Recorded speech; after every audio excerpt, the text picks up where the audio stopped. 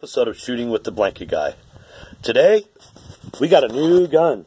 Well, new to me, not new to this world. This gun is a Winchester, model 94. It shoots 32 specials. I added this on, by the way, and it's in perfect condition. I have loaded it already. It holds 6 and 1. Lever action. It's now ready to fire. Okay?